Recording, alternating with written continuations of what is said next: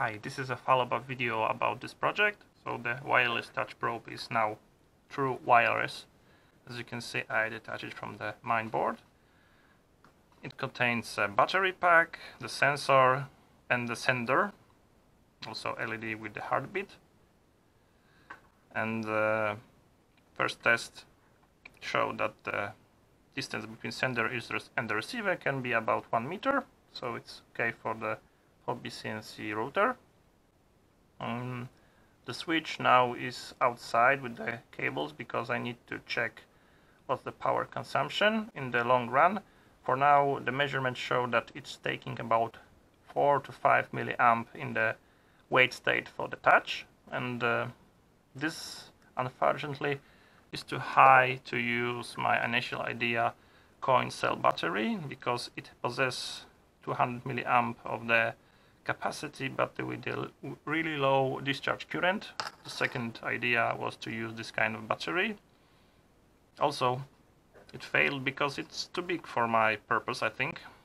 So I used the battery from the, uh, I don't know, RC components. This is 280 milliamp hour battery and also I used the controller for this one. As, you can see, it's big as the battery itself. At the end I will use some kind of reed switch to turn on and off the touch probe. Near the sensor I will have a small magnet. When the sensor will be moved by CNC, this is a normal close uh, connection, so without magnetic field the touch probe will work automatically. Problems that still remains to resolve is to have some leads, I don't know, maybe magnetic uh, port for the charging the lithium ion cell inside this.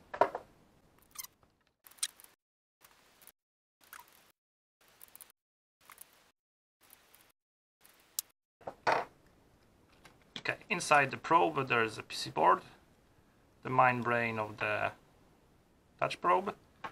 It's connected by these two point wires the power switch and the battery controller for the charging and the battery itself. Um, yeah, basically that's it.